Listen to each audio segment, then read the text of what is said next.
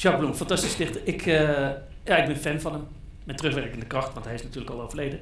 Ik heb een uh, tattoo, misschien heeft u gezien op het affiche en de flyer. Ik heb een tattoo van Jacques Bloem op mijn arm uh, gezet. Ehm, ja, Frank die heeft dan het kofschip op zijn arm. Ik ken de schrijver niet, maar misschien horen we het vanavond. En als je iemand uh, vereert, dames en heren, dan maak je een pastiche op zijn werk. En ik heb dat gedaan bij Jacques Bloem. Ik lees eerst het origineel even voor, een gedeelte hoor. En dan lees ik de pastiche voor die ik erop gemaakt heb. Denkend aan de dood kan ik niet slapen. En niet slapend denk ik aan de dood. En het leven vliet gelijk het vloot. En elk zijn is tot niet zijn geschapen. Hoe onmachtig klinkt het schriel te wapen. Waar de levenswil ten strijd mee nood. Naast der doodsklaroen een schrille stoot. Die de grijsaards oproept met de knapen. Fantastisch gedicht. Heb ik een kleine passage op. Denkend aan de dood kan ik niet slapen. En niet slapend denk ik aan die oude klasgenoot. Mijn god, wat was die gozer groot. En dan bedoel ik hoe hij was geschapen. Hoe onmachtig klonk mijn schriel te wapen. Toen ik mijn zinnen zette op die blonde stoot. Die mij de maat nam en in de lach schoot. Het leven is keihard op de rots der aap. Nou, dat is een uh, ja, nee, maar ik, ja, nee, Jan, ik heb net een beetje zitten kijken. Weet ja. je wel. Nou, wat, je, wat jij doet, hè, wat je doet. Ik heb je even zitten observeren wat jij doet. Je gaat zo zitten, je pakt een boekje, je gaat met één hand zo. En je zegt van, ik heb nu een gedicht van, uh, van, van Bloem. En dan ga je voorlezen. Je zegt van, nou, nu heb ik een, een, een pastiche gemaakt zelf. Weet je wel, iets, iets van jezelf. Dan ga je op precies dezelfde manier zitten, zo. En er, zit, er, zit, geen, er zit geen er zit geen variatie in die vorm weer. Jan. Je moet, je moet, als je dat doet, moet je ook iets met de. Met, met, de nou, ik zal even een voorbeeld geven. Kijk, als je bijvoorbeeld de beroemde uh, dichter. Even kijken, twaalf letters. Uh, Tinus Nijhoff. Is die Tinus Nijhoff. Martinus Nijhoff heeft hij met. Ja, ik kwam er zo gauw niet op. Uh, ja, ja, ja. Oké, okay, Martinus. De moeder, de vrouw. Gedicht van Martinus. Wie, wie kent toevallig de eerste regel van dat gedicht? Wie? Ja? Ik ging naar Bommel om de brug te zien, ja. Ik ging naar Bommel om de brug te zien. Ik zag de nieuwe brug. Twee overzijden die elkaar vroeger schenen te vermijden, worden weer buren, enzovoort, enzovoort, enzovoort. Fantastisch gedicht, niks meer aan doen. Ah, nee, maar dit is, dit is, dit is een sonnet. Dat is al een vorm, sonnet. Nou, veel gebruikte vorm. Als je dat bewerkt, dan moet je niet zomaar wat woorden veranderen en wat dingetjes. Nee, voor mijn part, Jan, uh, voor de vorm snij je, ja, voor mij wordt de hele rechte onderkant eraf, weet je wel. Ja, toch? En, en, dan ga je bewerken. Uh, ik ging naar Bommel om de brug te zien. Ik zag de nieuwe brug, twee wilde brassen die elkaar vroeger schenen te verrassen, worden weer buren. Een moment misschien dat ik daar lag in het gras met dochter Pien, mijn hoofd vol van het langsrijden der assen, laat mij daar midden uit de uitlaatgassen een stem vernemen.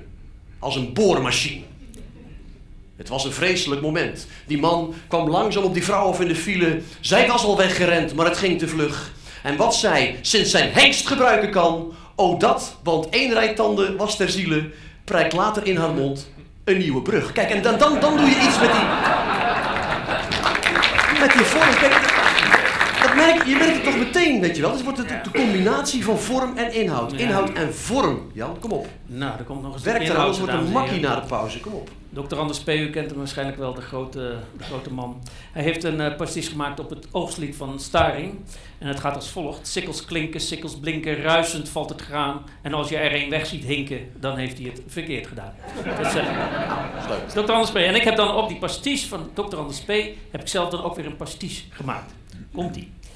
Sikkels klinken, sikkels blinken, ruisend valt het graan. Ik wist al wel van beide pinken, maar waar komt die losse duim vandaan? Dat is een pastiche op een pastiche die je dan maakt. Het is dan puur ik inhoud waar je mee bezig bent. Ik denk dat ik het weet wat, wat, waar, waaraan ik mij, mij stoor nu, denk ik. Oh. Ja, dat denk ik. Ik vind, ik vind gewoon, je leest dat... Ik, ik vind voorlezen vind ik gewoon geen kunst.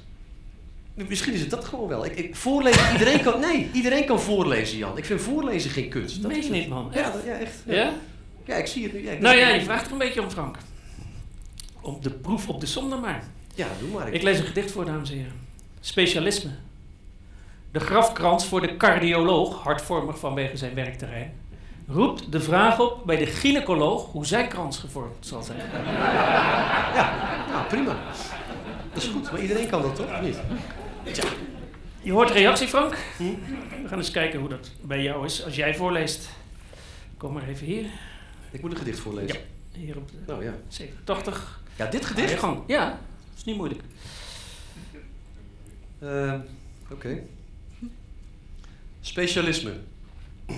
De grafkrans voor de cardioloog, hartvormig vanwege zijn werkterrein, roept de vraag op bij de gynaecoloog hoe zijn krans gevormd zal zijn. Ja, maar dat is dat is dat. Ja, nee, maar dat is toch. Geen reactie, man. Ja, maar Geen enkele reactie. Ja, ik heb het net zelf voorgelezen, maar de verrassing is er Ja, toch en een beetje, ook. een beetje vanaf, weet je wel. Dat is dat Maar de verrassing is er vanaf. Het ligt niet aan het voorlezen, het ligt eraan dat, dat ze het alles gehoord hebben. Dan is het toch, dat is toch Oh, anders, dat is het. niet? Ah, Oké. Dus als ik het nu voorlees, dan werkt het ook niet. Nee, tuurlijk niet. Dus dat werkt één keer en dan is het gebeurd. Kom maar op. Specialisme. De grafkrans voor de cardioloog, hartvormig vanwege zijn werkterrein, roept de vraag op bij de gynaecoloog hoe zijn krans gevormd zal zijn. Eh,